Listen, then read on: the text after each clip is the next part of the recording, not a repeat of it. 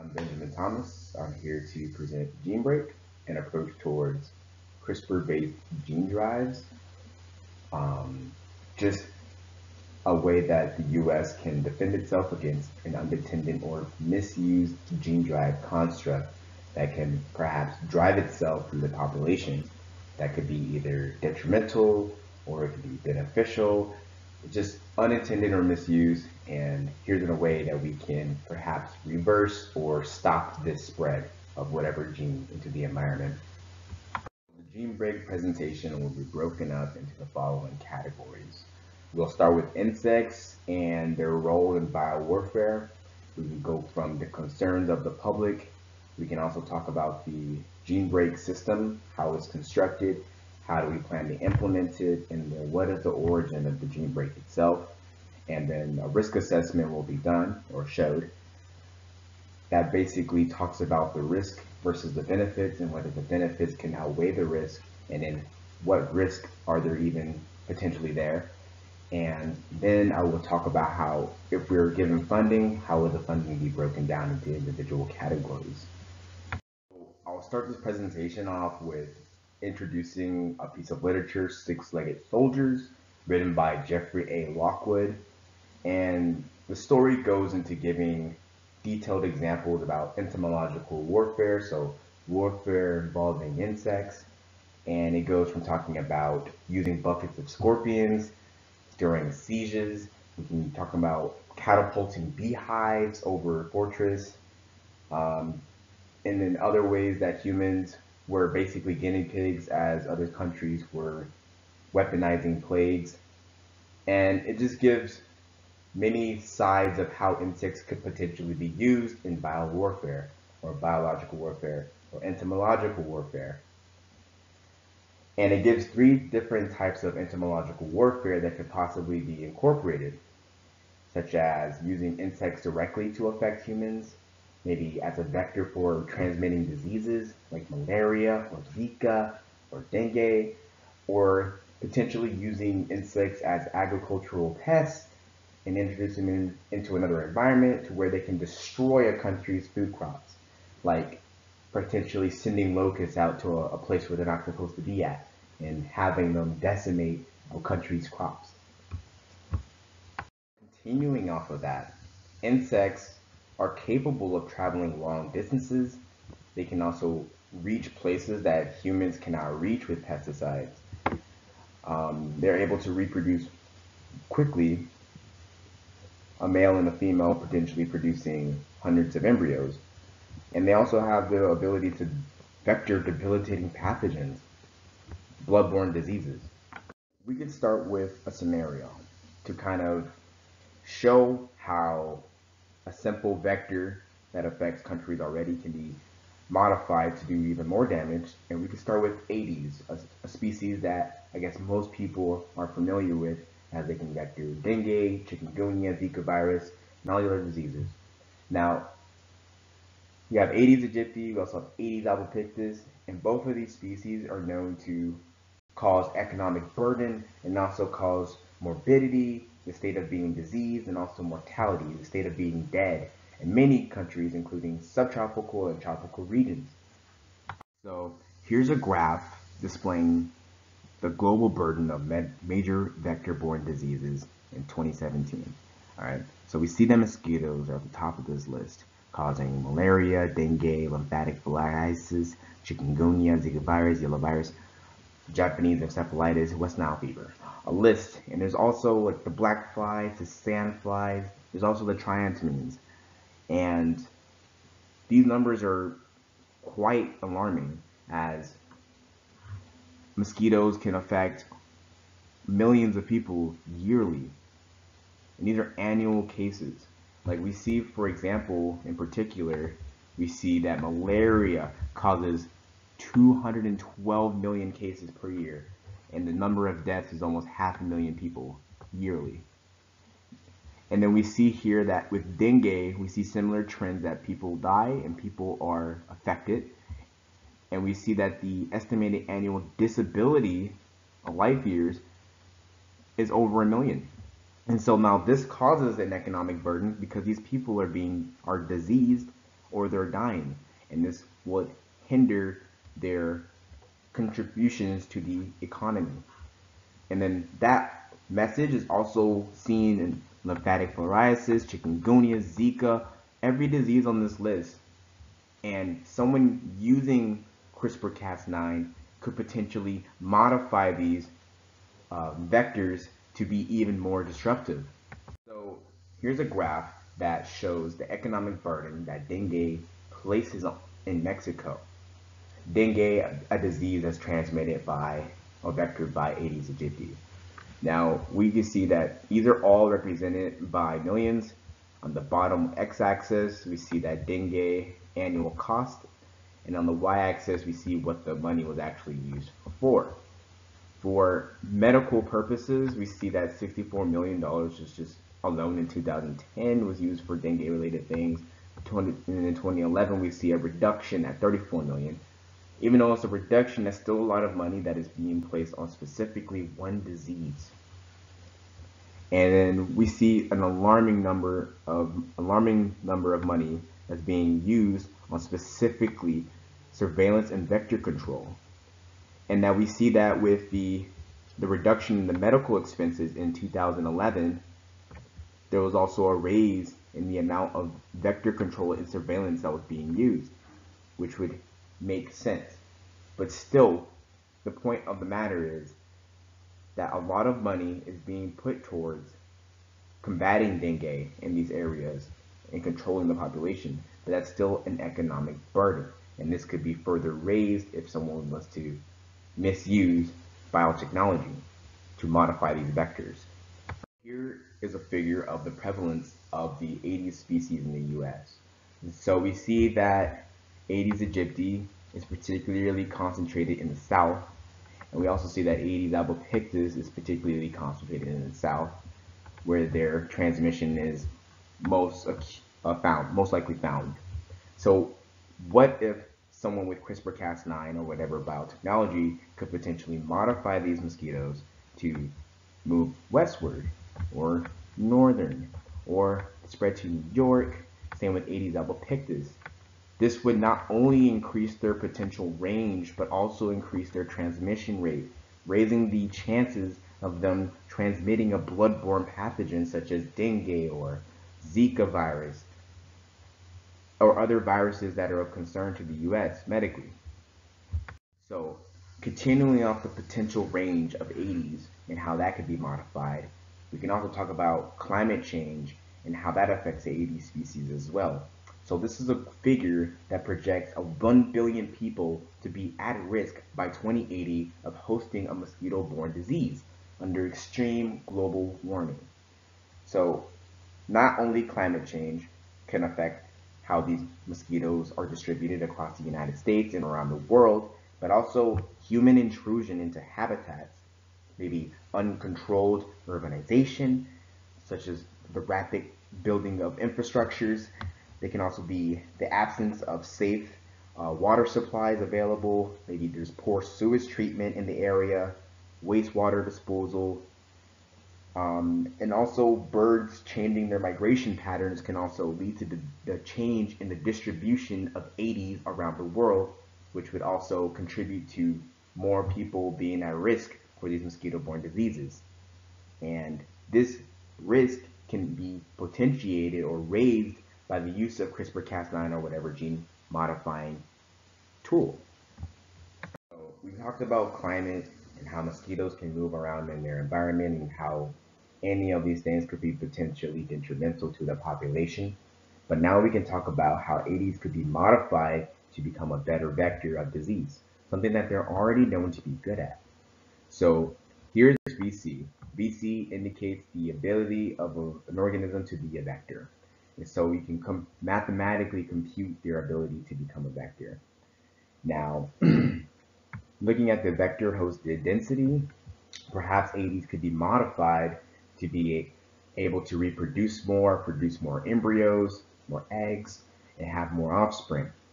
Having more mosquitoes hatch from these embryos or offspring could potentially raise the amount of mosquitoes that are, are, that are in the environment and raise the amount of females that are wanting to bite, you know, animals or humans.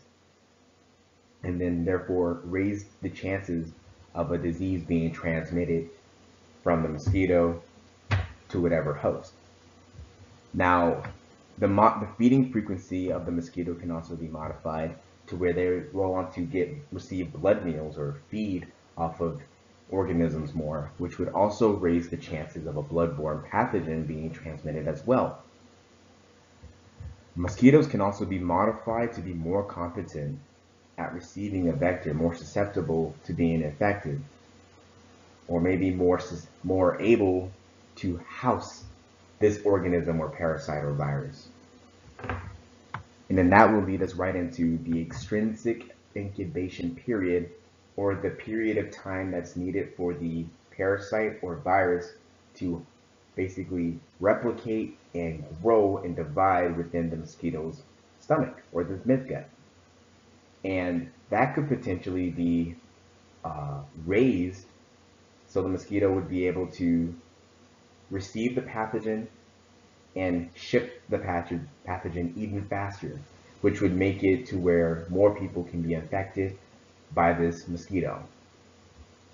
Now we see in the denominator lifespan, and if someone can modify the mosquito to have a longer lifespan, then that would in turn raise their vectorial comp their vectorial competence, their, their ability to vector disease.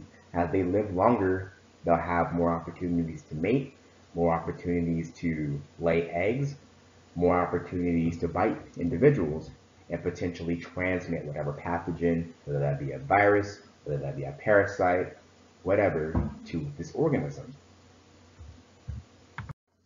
All these different things can modify the mosquito's ability to vector diseases, but that doesn't necessarily mean that it's going to drive through a population.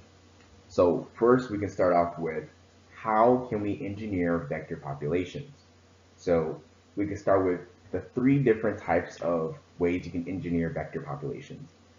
You can use target site cleavage based gene drive systems. There's also toxin antidote based gene drive systems. And then there's also translocation based drives. The one we are looking at specifically, and the one I am here to present to y'all today as a defense, would be a CRISPR-Cas9 based drive. That is site specific, but we'll go into further details of that later.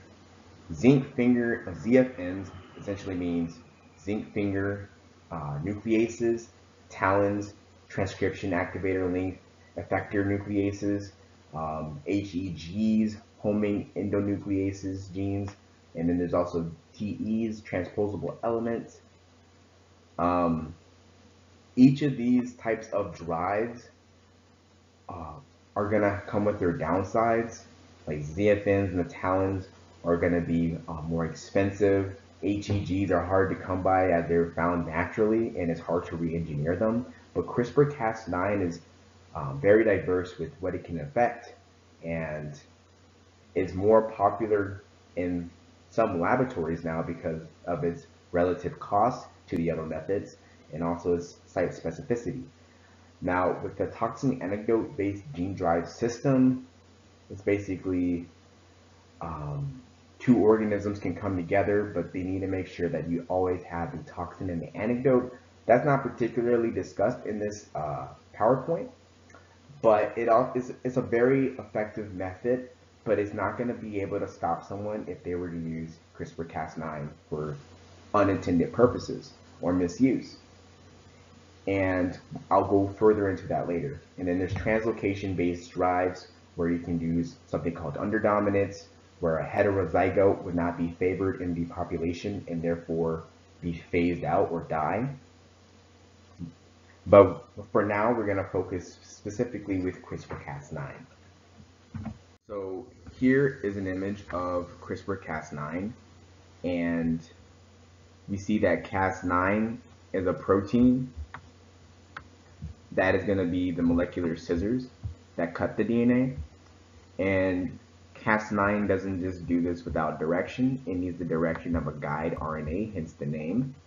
And it has a sequence that is from 17 to 20 nucleotides that guide the Cas9 to a target sequence to be cut.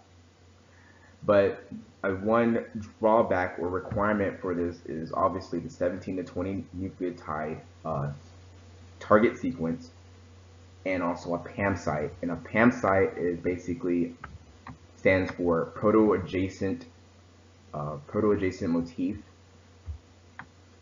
And then a PAM site has an NGG NGG sequence where it has you can start with any nucleotide, but you also need that GG in addition to the 17 to 20 nucleotide uh, target sequence. Now, there's the cRNA and there's also the TR-CRRNA, and these are just basically there for stability. But we can think about CRISPR-Cas9 as a mailman delivering a product. And so you can think about the guide RNA as UPS guiding its mail, which is the Cas9, to wherever it needs to be dropped off at. And it's very site specific. And that's one of another drawback with CRISPR-Cas9 as there could be repetitive sequences in the DNA, but that will be discussed later on. So once this CRISPR-Cas9 is guided by the guide RNA to wherever it needs to make a cut at, a double-stranded break will occur once the Cas9 cleaves. Now, once DNA breaks, there are several different DNA repair pathways that will, want, that will then be activated and compete with each other essentially for the repair of this broken DNA. Now, on this slide, I only show two different types of repair pathways, even though there's probably many more, but here are the dominant ones. So we have the error-prone or considered error-prone process of non-homologous end joining or NHEJ mediated repair. The repair of these uh, separate strands involve the use of chemicals like DNA PKCs or Q70, Q80 proteins, but there's a varying amount of proteins that come together and essentially combine the DNAs once again, the DNA strands, and create variable indels, meaning insertions or deletions of nucleotides. So this process is not exactly favorable if you're trying to bring in a gene into a population or an organism and have it be exactly as expected. This will come with frame shifts that occur from these insertions or deletions. And these frame shifts can cause silent mutations, they can cause mutations that can make different proteins, and they can cause proteins that uh, can cause mutations that can make premature stop codons, which will lead to a truncated protein. And these are all not favorable. Now on the other spectrum, on the other side, we have HDR. HDR stands for homology directed repair. Now, homology directed repair would use basically one of the strands as a template, and we'll have a donor template, and then it will lead to precise sequence modification. Now, you see on this donor template that we have homology arms. These matches the same color as these. And this end of the donor template matches these. And this will be the, basically the uh, template that will be copied into this double-stranded break to repair. Now, we notice this green bar here and then that's basically the gene of interest that we're trying to introduce into this organism. And using homology directed repair, we can get this target sequence into the organism without any unexpected indels, insertions, or deletions, making HDR a favorable pathway to use when using CRISPR-Cas9. But even if you use CRISPR-Cas9, that doesn't automatically mean that a, that gene will drive through the population. So if we look at the left side, we have an altered gene here that is going to be spread through normal inheritance. Now we have this altered allele, say we use CRISPR-Cas9 with the HDR pathway being used, and we just mates with a wild type mosquito. Now, knowing our classic Mendelian inheritance, it has a 25% chance of being spread through the population as this altered allele is only on 1. Now it has a 25% chance of getting through the population.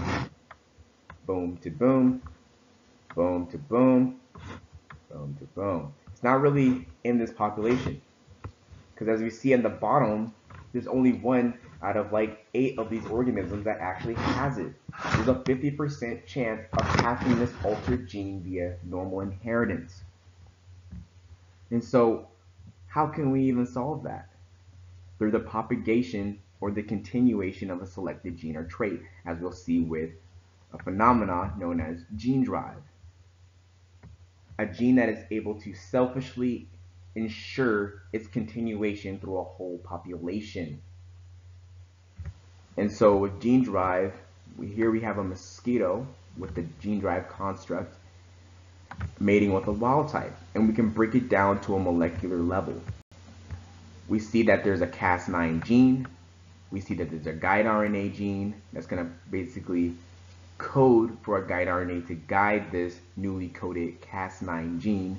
And we also have the altered allele that wants to be transferred. And so now with all these components essentially being on this mosquito, it can make its own Cas9, it can make its own guide RNA, and it can also make its own altered allele. That's this cargo. And so when it codes this guide RNA and also this Cas9, it leads to a cut of the wild type allele and assuming that homology directed repair occurs, then you have two alleles now that are exactly the same with both the Cas9, the guide RNA, and also the altered allele. And so if this gene drive mosquito was ever to mate with another wild type again, then we'll see that same pattern as displayed at the very bottom. So we have this altered mosquito mating with the wild type and that 50% chance inheritance. There's no chance that the gene drive will not work unless it was maybe a different DNA repair pathway. But we see that every time it mates with a wild type, there's at least some that have this construct. And as the generations continue, we see that there's all gene-driven mosquitoes. And then that's an example of how a gene drive can perpetuate or continuate throughout the population. Knowing now more about CRISPR-Cas9, gene drive, and how the two can be combined, we now have dual use concerns or concerns of people either using them for good or people using them for bad. And for bad presents lots of concerns, especially with the public, as people such as the biohackers misuse CRISPR-Cas9 or they're misinformed and they still use it and they misinform others, which could lead to this trend of people using CRISPR-Cas9 for under and unintended purposes. That just leads you to wonder what other countries or individuals have uh, malicious intent on using CRISPR-Cas9. CRISPR-Cas9 has a wide range of targets, and but the limitations are that CRISPR-Cas9 can only be used in sexually reproducing species, so they can't be used in viruses, they can't be used in bacteria, and the fact that you need to have a PAM site that NGG and they also need a unique 17 to 20 nucleotide target. And they cannot be repetitive sequences that you're targeting, or there'll be a, a cascade of off-target effects where CRISPR-Cas9 can cut at multiple locations. So with CRISPR-Cas9 based gene drives, so it could be used for good, right? And say if a country was conducting field trials using CRISPR-Cas9 based gene drives to control an Aedes mosquito population, an Aedes aegypti population to be specific, and they're releasing them at thousands within their field trial. Now, what's stopping these mosquitoes from migrating to different areas? We've seen in uh. multiple studies that people, you know, release a lot of mosquitoes and there's always migration within their population charts.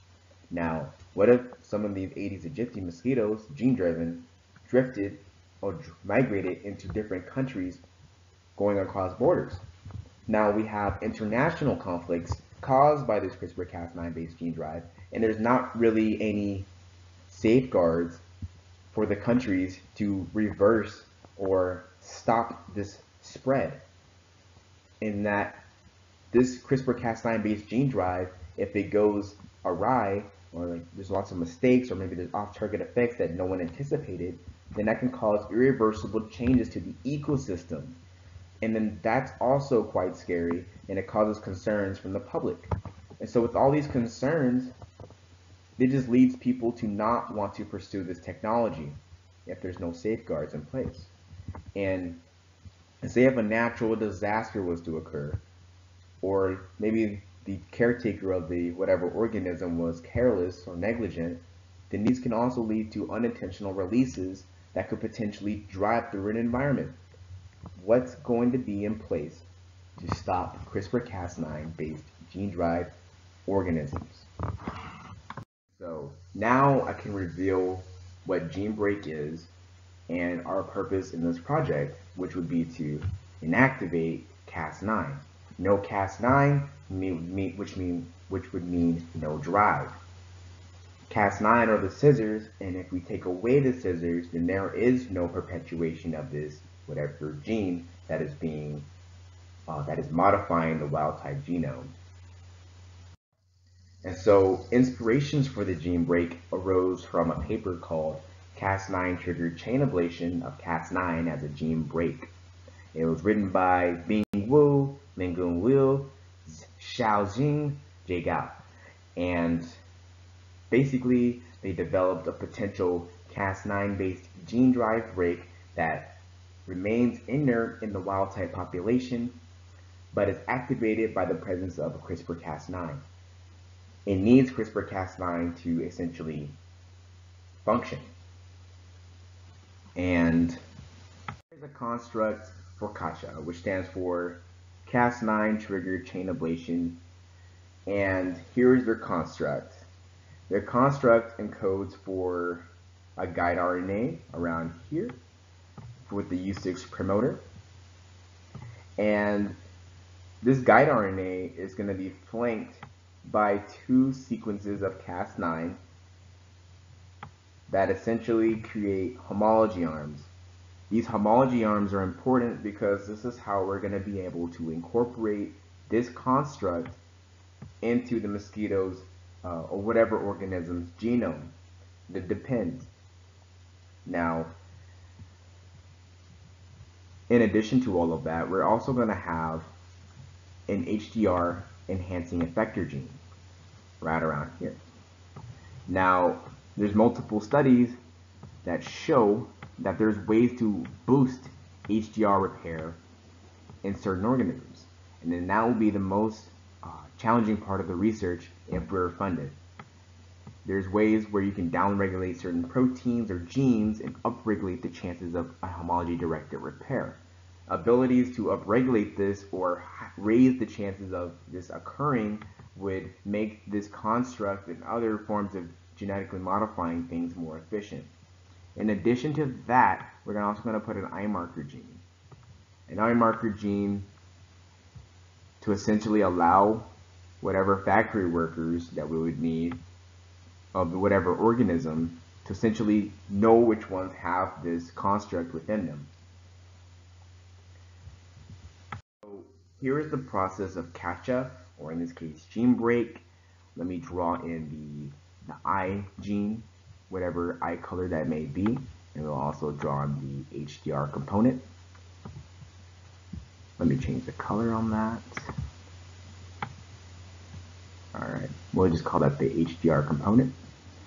And so in this construct, we have the homology arms present here, right? We have the homology arms, the homology arms, and it also is the same color as the Cas9 um, gene. And so now we have a template for homology-directed repair to occur.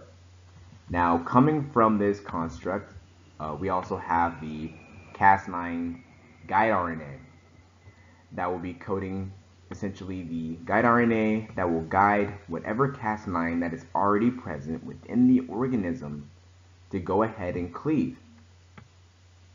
Right? So it codes for this guide RNA.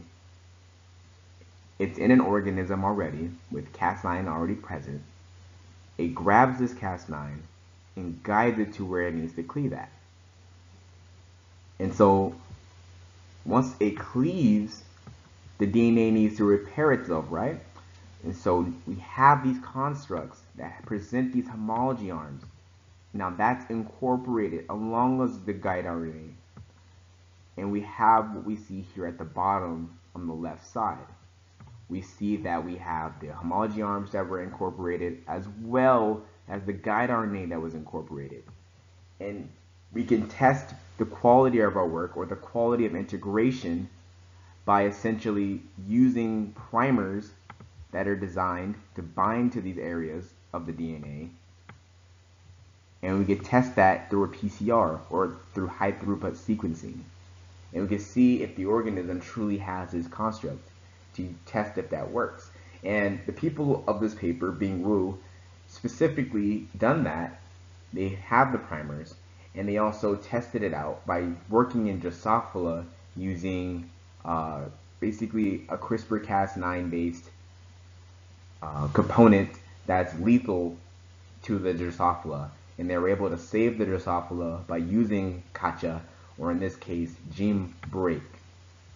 And so on the right side we see the same thing but on two alleles and we see that an allele, uh, a heterozygote carrying kacha, codes for that guide RNA, and it will grab the Cas9 and essentially convert both of the alleles to having kacha in this construct of this guide RNA still present.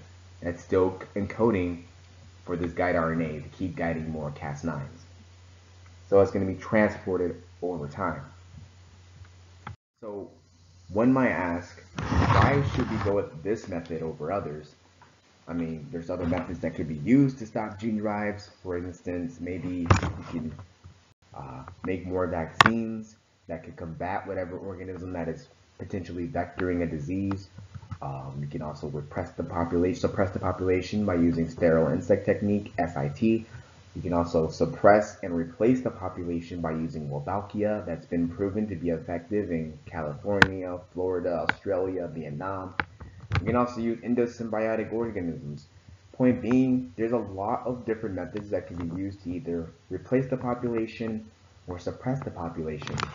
But which of these methods is actually going to stop a Cas9 protein from cutting the DNA of the organism and modifying this organism? With the gene break, the benefit of it is, if there is no drive there, no gene drive there, it would eventually fade out of the population as it theoretically would not be providing any benefits for the organism. And saying that or understanding that concept would prove to be good for human values because who's going to want a genetically modified organism in nature forever?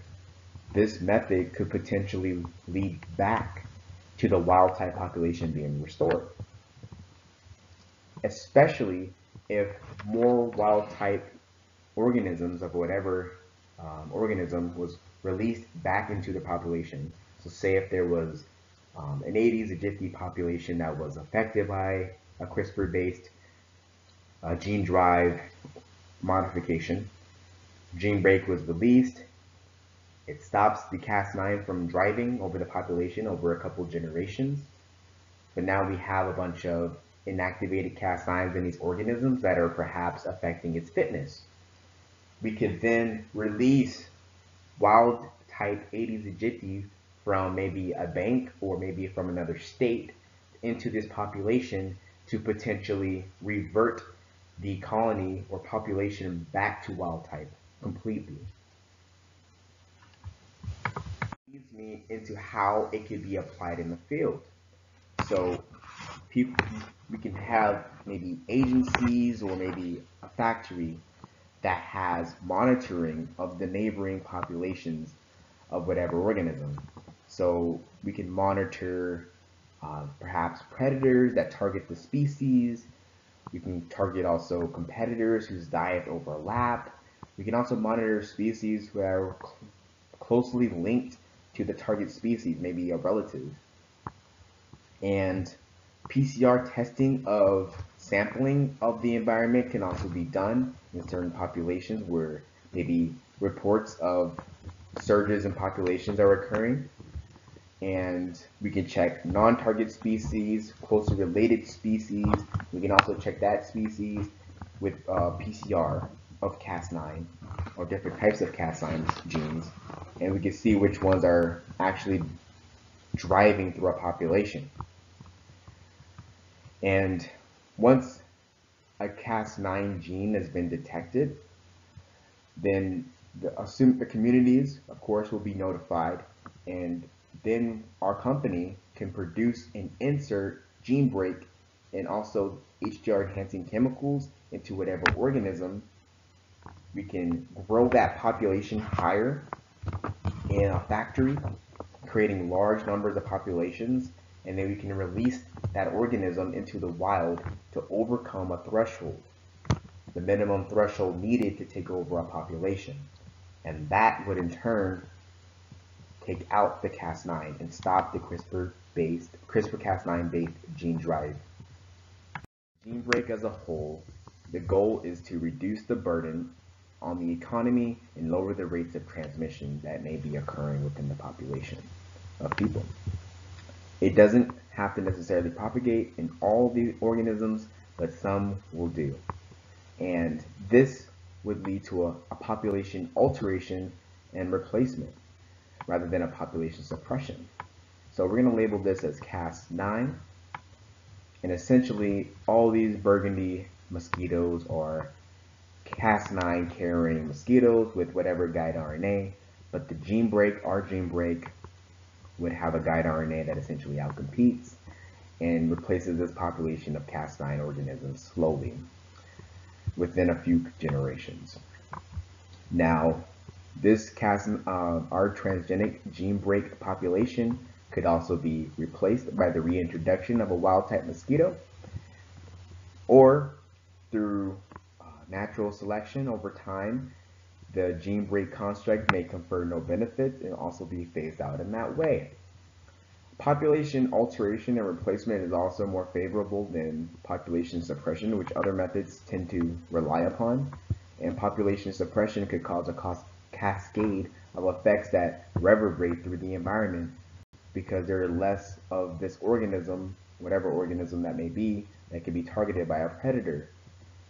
And that would not be advantageous quickly summarize what gene break is.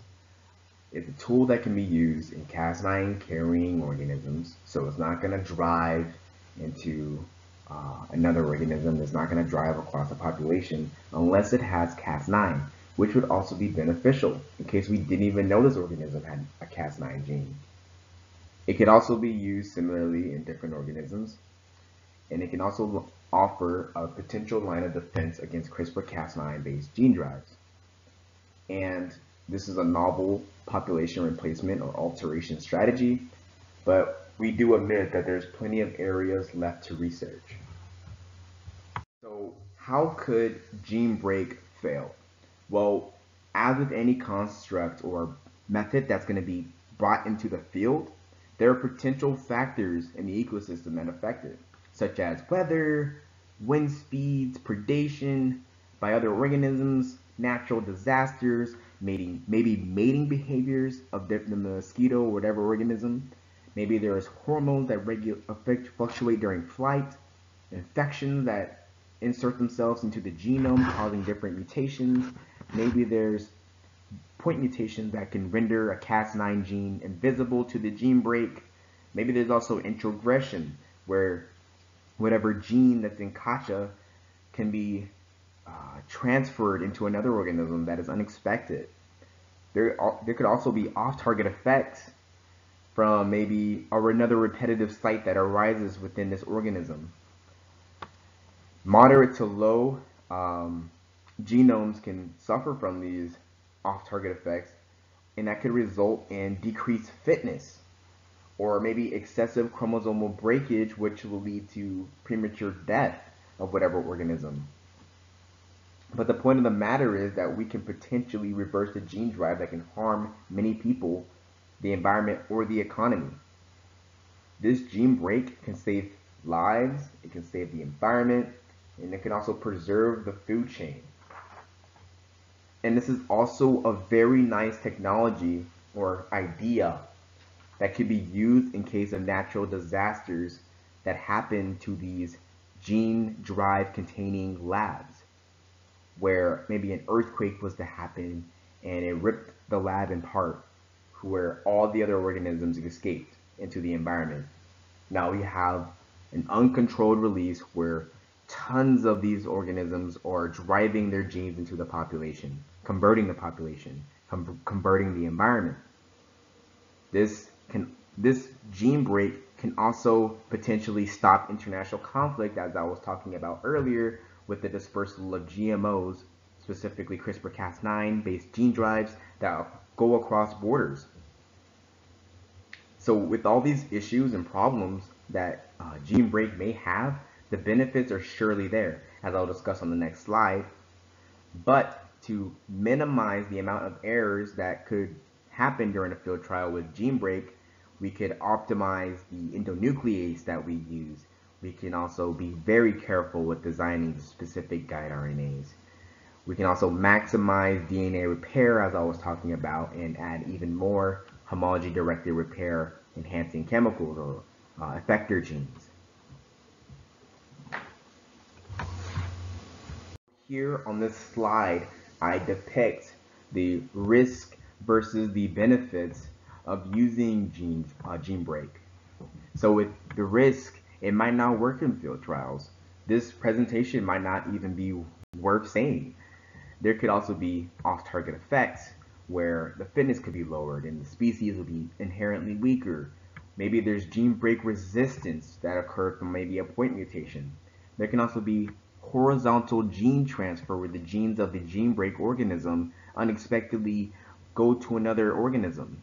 There can also be loss of a species. Maybe the gene break does not work at all as we expected. Maybe the gene break within an organism could change its resistance to certain pesticides, which would not be uh, beneficial for anybody. But on the other side of the spectrum, we have benefits such as potentially reversing a gene drive, potentially reducing the amount of transmission or saving lives. We can also save the environment, offer something that we can use after natural disasters that affect gene drive containing labs. It can also mitigate conflicts of migrating GMOs with these Cas9 genes, but most importantly, we can also advance science. Putting all of these risks and these benefits and ways that we can lower the risk all into consideration, we can construct a TPP. A TPP is a target product profile where you can measure how well the gene drive construct is uptaken by the organism, so that the gene break and how well it can become integrated into the organism. We can look at off-target effects such as their survivorship, how competitive they are in mating. We can look at the hybridization with other species, like are they able to you know, spread the gene break through other organisms um, this impact, how long it will take for this impact to occur, and then these are all basically things where the funding of whoever funds us will be going into. And we can learn, we can also uh, spread the funding into how well we can deliver these gene breaks across the nation. We can use some of the funding to help uh, train employees on how to take care of these organisms, whatever they may be because whatever the organism may be will determine what kind of training do they need and what kind of qualification do they need. And then what kind of cost would it take for us to build a factory manufacturing this organism? And on the right side, we see the minimum threshold. So here are the goals basically for whatever uh, phase testing that will be done during each phase. And here are some of the goals that we will want to be doing. So we want most of the most of the uh, construct to be taken up by the organism. We want it in all the organisms. We want less than 1% over 10 generations. So we wanted to go quickly through the generation so we can help save time. And we also go into how it can be delivered using existing health systems, uh, can be deployed by community volunteering, which I'll go into later on how that can be done. And if it meets the demand, does it actually satisfy everybody? Funding would go into the phase testing pathway where we can assess the fitness cost, the efficiency under certain factors, minimum threshold for fixation in the population, the transmission rate, whether that's affected, the hybridization with other species. But currently we're at phase one, where we're developing the research plan and we're targeting our product profile with the stakeholders. And we're looking for funding so we can begin phase one. And this pathway will be followed once funding is received, where we can get governmental approval during each step from like the NIH, CDC, EPA, USDA, and also other companies like NEPA. And we'll also be receiving constant feedback from the community, the publics, and the stakeholders through community engagement. In addition to the uh, phase testing pathway and with the communication from stakeholders, from communities, from publics, governing bodies would be contacted for each step of the way. Um, communication is key with with ever biotechnology that's going to be used and definitely governance would help in that process as well as with any gene drive specifically in plants maybe rodents would need to be contacting the IVC gene drive in insects and animals the IVC and as the hazards go up or potential risk that's just leading to more governmental contacts but in this case, since this might be released in the US to potentially stop whatever organism that is driving through the population, the IBC would be contacted, also the FDA, the EPA, the USDA, and also CDC. The EPA would be contacted because their organization essentially ties into pesticide products and products that are intended to reduce the population even though we're not reducing a population, we are still replacing a population. And that would probably warrant EPA to come in and investigate or required to be contacted. The FDA would be contacted because animal this construct gene break could be considered an animal drug that is intended to reduce a virus or pathogen load within a mosquito. So if uh, this Cas9 was to drive, or this gene break was to drive and inactivate a Cas9 that can reduce its ability to potentially transmit a virus. And it's also a product that is that is intended to maybe prevent disease or maybe reduce or prevent a mosquito's ability to do, transmit disease. So that would require FDA contact. The USDA could also come in as they intend to have control over more genetically modified insects as that deals with the agriculture. And the CDC could also be involved as they are in charge of essentially investigating outbreaks, sources of illnesses. So say they uh, come across an outbreak that was caused by a CRISPR-Cas9 based gene drive where mosquitoes are able to transmit more diseases, then we can be deployed, but also the CDC will be deployed. So there also must be communication between both parties. And that's just an example of how all these organizations can come together with Gene Break and potentially do something about the situation. Once funding is received and approval from the IVC and maybe feedback from stakeholders, communities, publics, and also the governing bodies was received. We could put all that together and create an insectary. And also in addition to a laboratory where the molecular biology can take place. Now, eh, this can be an insectary. It doesn't have to necessarily be an insectary. It could be a nursery for whatever animal that might be uh, modified the CRISPR-Cas9 based gene drive. But here's a general schematic of how these uh, nurseries or insectaries could be constructed. There's a place to rear the the wild type mosquitoes or whatever organism. Here's a place where You can rear the gene-driven organisms, and here's a workroom where some molecular biology can take place or the injections of these organisms with the construct that we're intending to use, which is gene break. Here's a vestibule, which will offer a way for organisms to not escape. So there's so workroom would be the first way we can see if something has escaped. The vestibule will be the second layer to where we can see if something has escaped. And we can also see if something has escaped in, within the corridor. And as we go from wherever we're coming from to the corridor, whether that be from the gene drive or the rearing room, we see that there's a lower and lower chance at an organism potentially escaping through the corridor, which would bode well for us and go well in our favor, as we would not want any escapees of this gene break before it's actually done. So, once the gene-driven organism with the gene break has been properly reared, they would be shipped off to factories.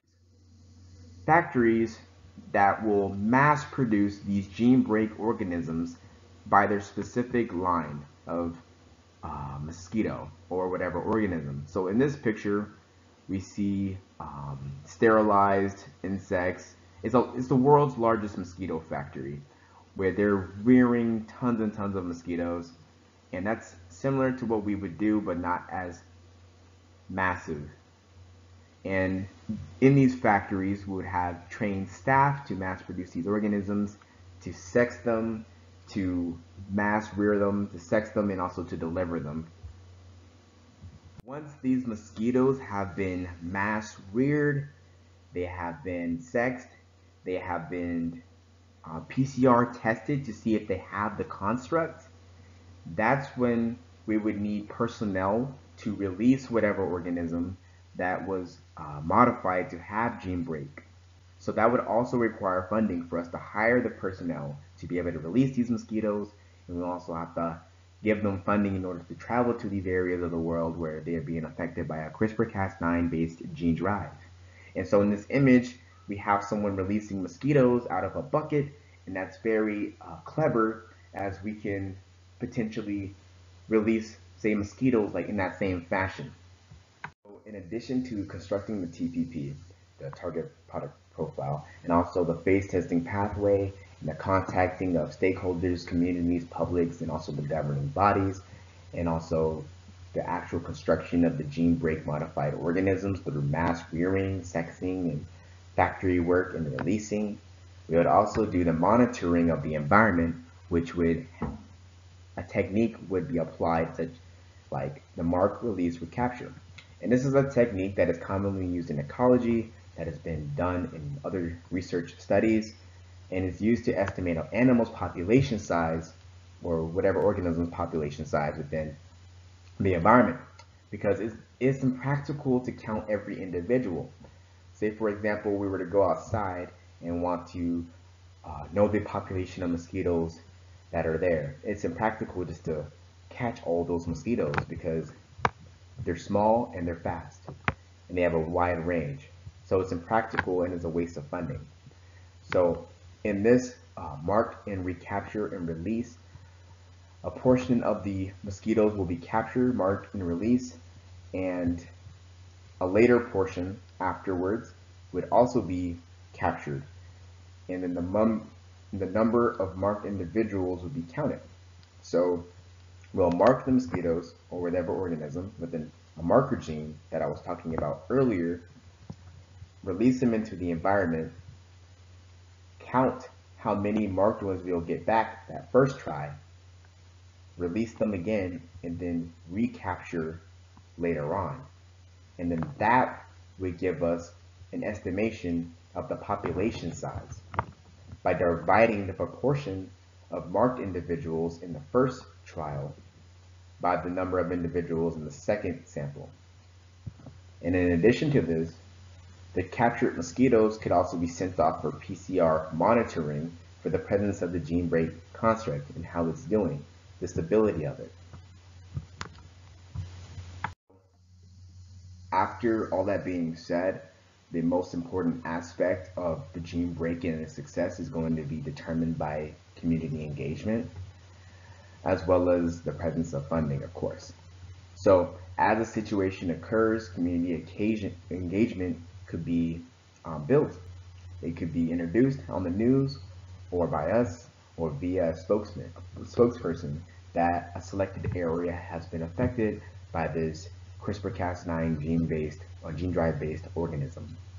And the design of gene break of this gene break would be pending on the feedback from stakeholders, publics, and the communities affected. So it's like the community is building this new gene break construct as well as us all together.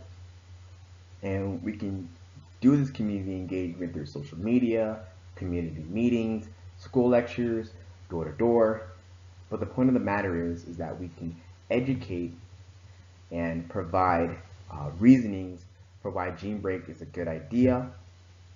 We can teach them how it works and why it's an effective method and why it's not something that we can choose not to do. Because what other method would prevent CRISPR-Cas9 based gene drives from spreading through the environment without killing all of that organism off? Another way that community engagement could be expressed through the schools is by making a gene break mosquito pill. And so on the left side, we see a pill that was um, crudely drawn or like constructed from Google Images. And the little black circles that we see are just each mosquito embryo. In this case, this is, this is the organism that has been modified for unintended purposes. And the kids simply just placed this pill in a cup of water or whatever standing body of water and allow for these mosquitoes to essentially hatch. Of course, they're going to be in the larval stage, the pupal stage, but that will all be explained to the parents and the children, and then they can witness all these cycles. But we're going to advise that they do this all outside, but this is just another way to where um, the, the community can also help the boy. So to sum up Gene Break into one complete picture, we can describe Gene Break as a way to combat misused or unintentional releases of CRISPR-Cas9 based gene driven organisms. We also know from this idea that there is great potential based on previous research for this technology to work very well within the field and efficiently. We also know that this can be applied to a variety of organisms due to the fact that CRISPR Cas9 is very diverse with what it can target. And we also know that this technology can provide a way for the public to feel more comfortable about CRISPR Cas9 being used globally. Because as with time comes progress, inevitably, and gene break is a way for people to feel more and more secure about their safety and well being. And we have to take these human values into consideration as any biotechnology is to be pushed forward. Um, thank you for listening. This has been Benjamin Thomas. If you have any questions, please leave them down in the comments below or sip them off to my secretary or assistants. And thank you for your time once again. This has been a long video and I appreciate all your listening.